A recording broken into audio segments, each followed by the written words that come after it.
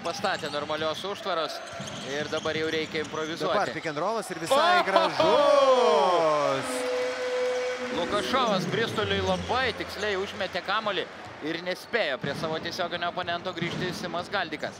Puikus iš tikrųjų derinys ir efektyvus.